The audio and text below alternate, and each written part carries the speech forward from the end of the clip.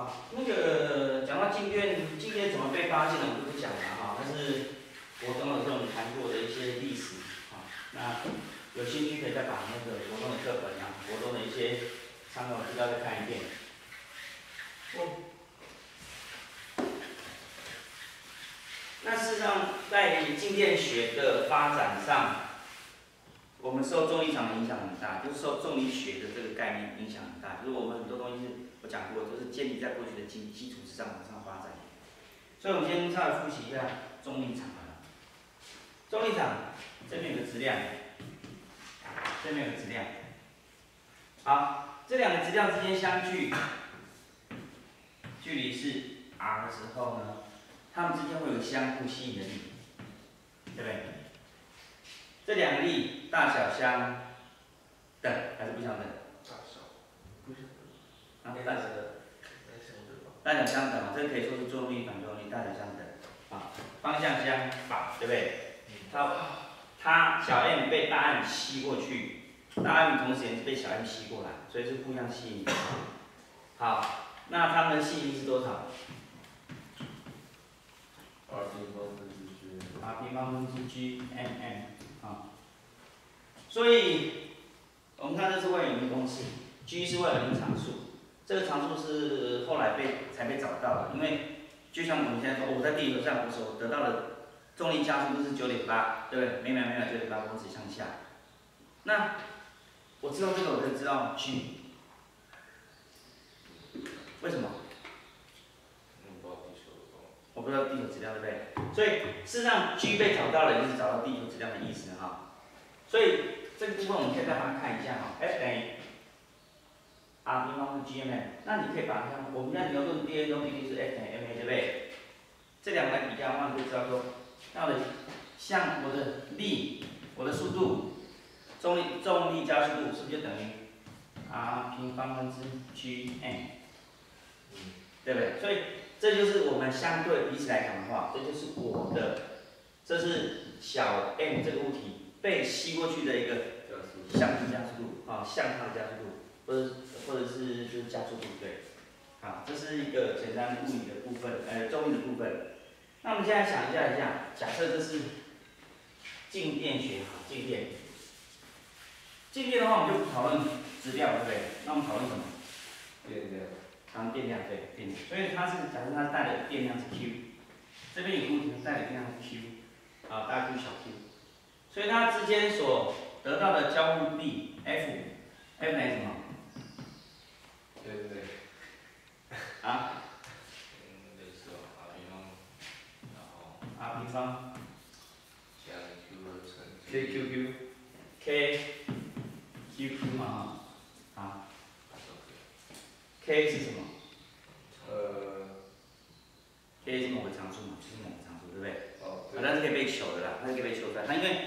后来我们在求求这个部分是，上次就牵到一个历史嘛，就发展历史，就是说我们一开始先，我们先定义什么？电量先被定义出来。嗯。对，那电量怎么被定义出来？量测。量测，好，量测它，电量是电量，电量的单位叫库仑嘛，kT 哈，库仑。然后它被定义，被被先被先被定义出来，怎么定义我们现在在讲啊，因为我还在去把那历史复习一下，啊，它被它就被定义出来，那所以当它被定义出来之后，我们可以从力可以求出 k 嘛，这比较简单，对不对？我只要两个 k 两个两个库仑的大小知道了，我就可以求出一个 k 了，而且它是都是一样的东西，所以这 k 是常数，所以它不太变嘛。那你就就算放三库仑，这边放两库仑。你只要把力测出来，它力就不会变，因为它实际上这个电量从库仑从力来来确定的，从力来确定的，所以库仑就被定义出来了。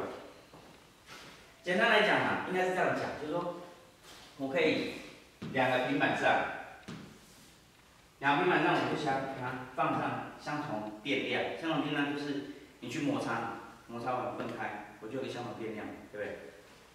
当然不是这样做了，但是我是说。你把摩擦分开，它两个一定带有相同的电量，一个正一个负的。你去测一下两个之间的吸引力 F，测出来之后就可以知道，啊，F 等于 K Q Q 了。对，距离是 r 平方。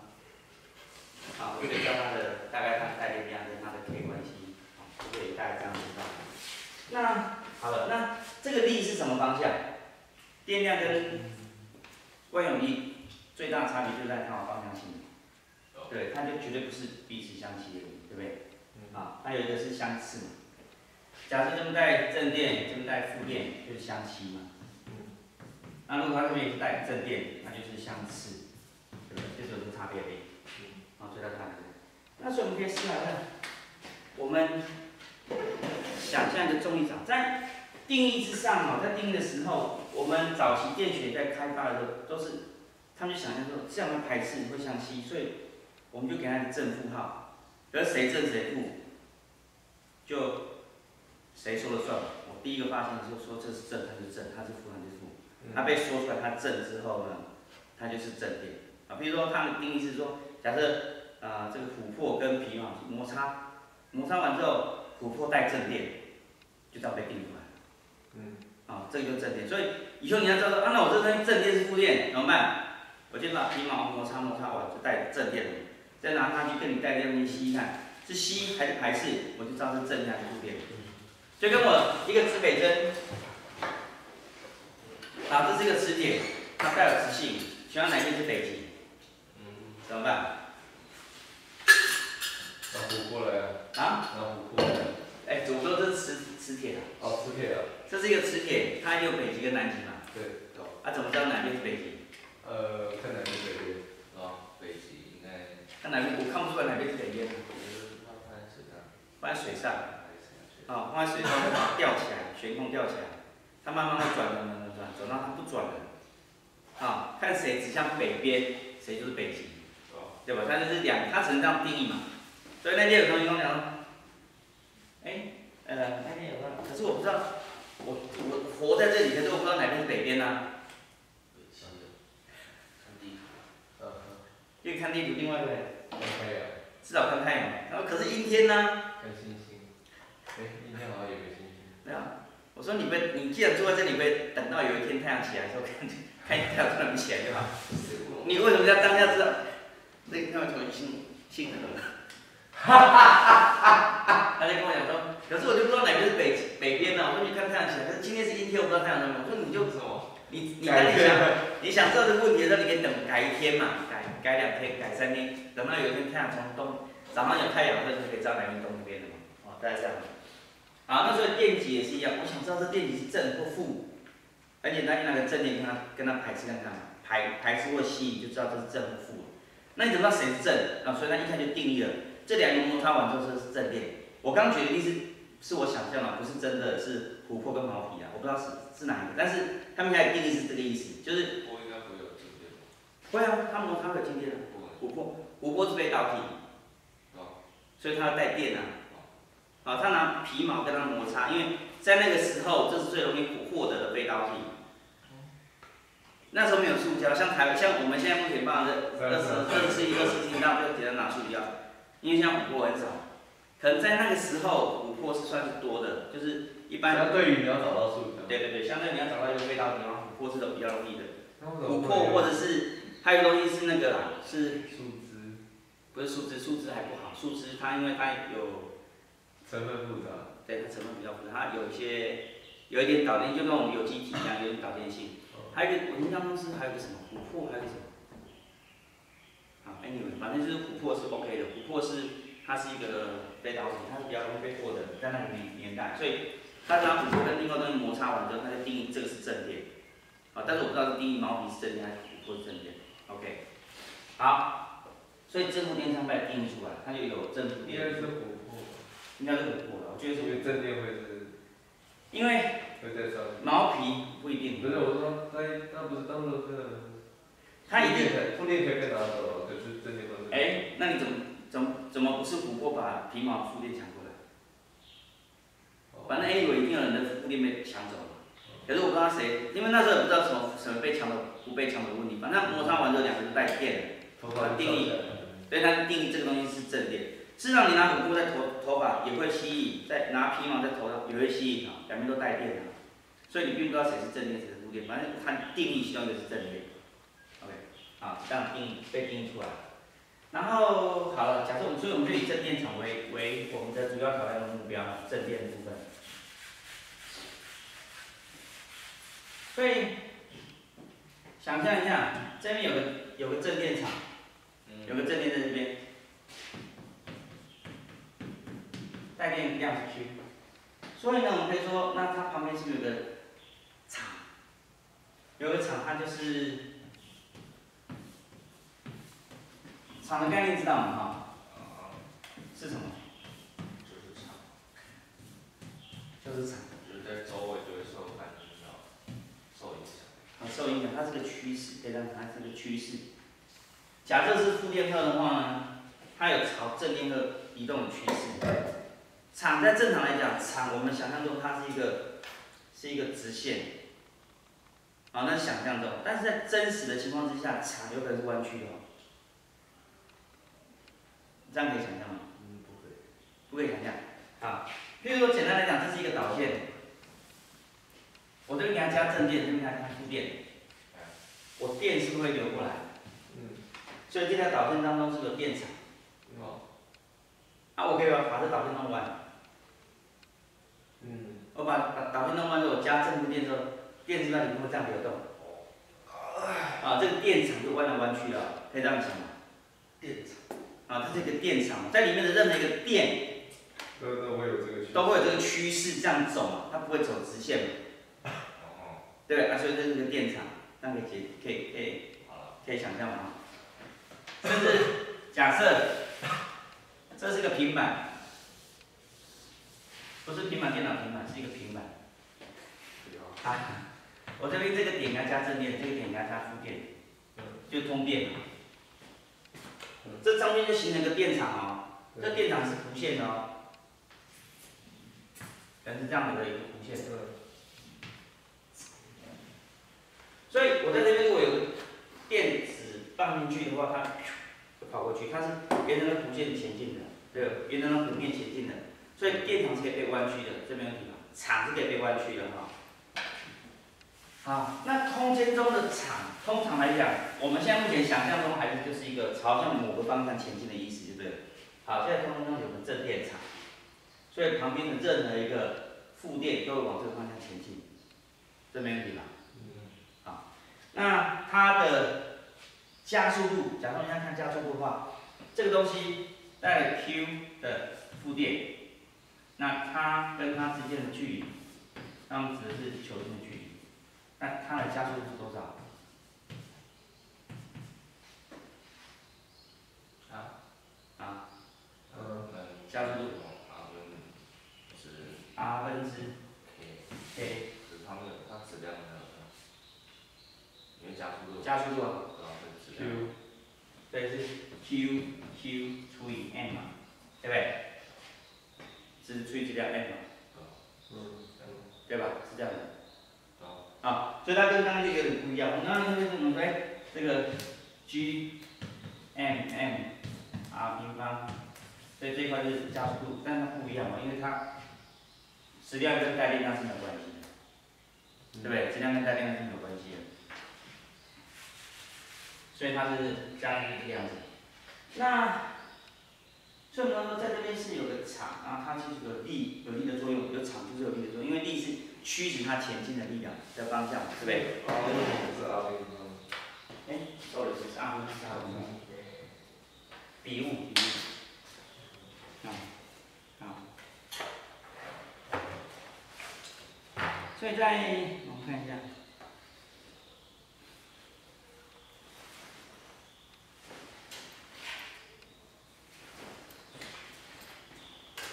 这就是一个库仑库仑电流哈。那我们再看一下，就是呃，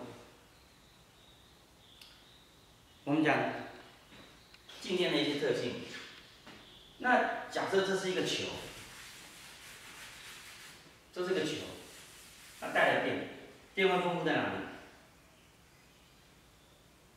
带电。那带电，我现在带电的，电话分布在哪里？外面。就分布在外外围嘛哈？为什么分在外围？因为它们互相排斥啊，它会被挤在里面。啊。那如果是长这样呢？还是外围？还是外围？对。那如果是长这样子呢？有一个洞洞。就是一个尖尖的东西，一根针啊。那就是尖尖的地方。只有尖尖的地方吗？主要。它整个啊，这边没有吗？表面应该会有，但是尖的地方应该比较多吧？哦。事实上，尖的地方比较少。哦。对吧？尖的地方比较少，因为它排斥力很大。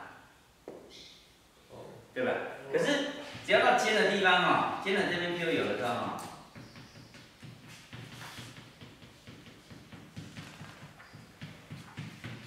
好，在这个地方谁最容易脱离？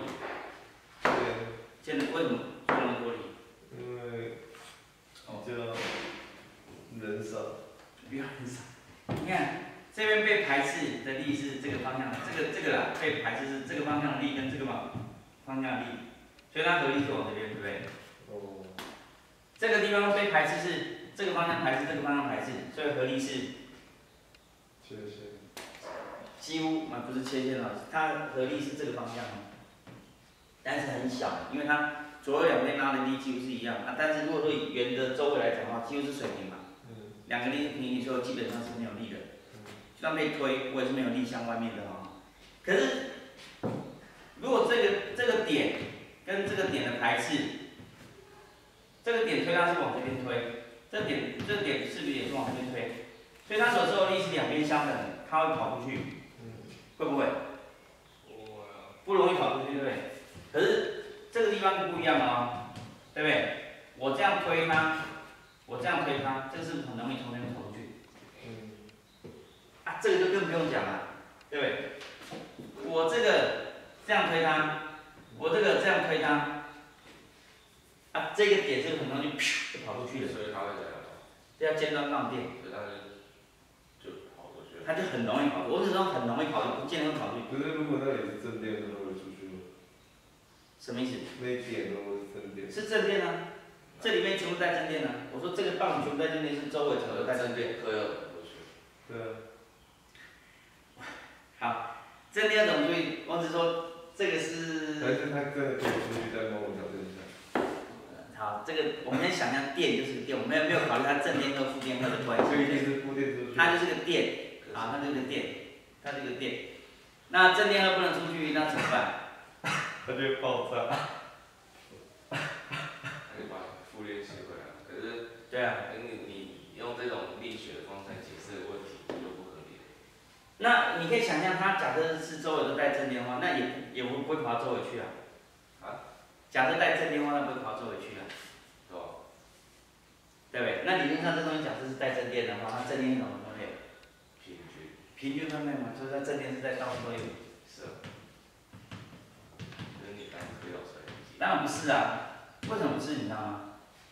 我我没有这样推导，但是我只说，我我只说，我刚才推导这个东西都跟正负电没有关系。那我们现在既然深究正负电有关系，因为我们知道正电不会移动，负电它移动，我们深究一下。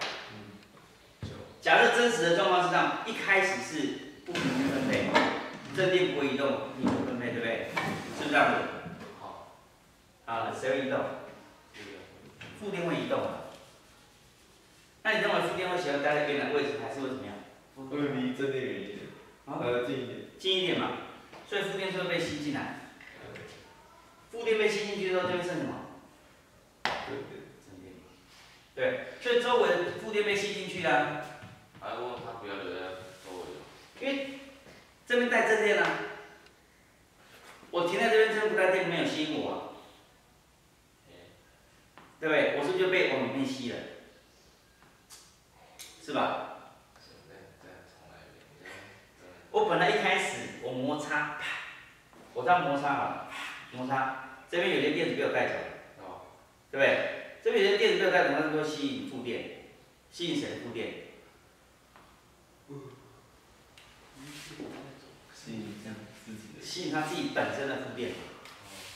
那我这样摩擦之后，可能就这边这边两个带正电的，可是这两个带正电很接近嘛，很接近，很接近，它就相似啊，对不对？可是它不会相似，是这边的电子变多嘛，相对来说电子变多嘛，电子变多就会有一个被挤过来这边，它被挤过来这边之后，它们两个带电的物体离远一点，它相对能量低一点嘛。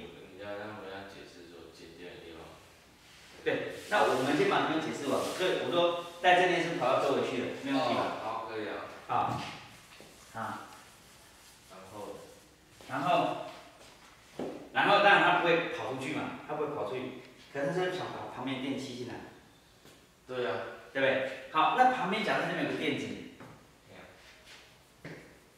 它被它吸引，被它吸引，被它吸引都是一样的结果，对？对不对？是不是它可以随便吸引？它到哪个点都一样。好，那如果说这边有个电子，它这边只有一根，没有，它有两个啊。好，我我现在这样举个例啊，我这个电子，我被它吸引，跟被它吸引，跟被它吸引，这三个力这样，相较于这个电子在这个地方，假设距离是一样的，这距离都是 d 哈，哦，这距离是 d，它被中间这个电子吸引，跟这旁边这电子吸引，哪个力比较大？是这个电子被吸引的力比较大，还是这个电子被它吸引的力比较大？可是问题是那是尖的耶，尖的啊、所以它的它的它的那个电场的量就不一样了，它的电量就会有差。呃，你说电脑因为它比较尖啊，所以它它的面积比较小啊，可是那个是一个平面啊，所以它的相对电量。所以说我我要讲说，这是一个圆的，圆的它实际上比较容易放电子，就是因为它的气力是相当的，就相当于假设我同时间旁边有放个球，跟旁边放个尖，这边带的电量跟这边带的电量是一样的时候呢，这电子比较小往这边跑，电子比较小往这边跑。你看这边的吸引力是我拉你，你拉我，都是拉同的方向，我都往这个方向拉。可是另外一边是只有中间是往这边拉，另外两边都是斜方向拉。可是不对吧？啊，没关系。可是我还是觉得圆比较有吸引力，这看起来就是圆圆不会比较，所以为什么我们在做像避雷针都要做尖的？因为尖的。尖的它比较有吸引力，它比较容易吸引电。啊，好了。啊，这这叫做尖端放电。好，嗯。啊，那如果是负电的话，它比较容易，它电不会挤出去嘛。然后正电是它会吸进来，它吸进来力量比较大。好，听起来下课。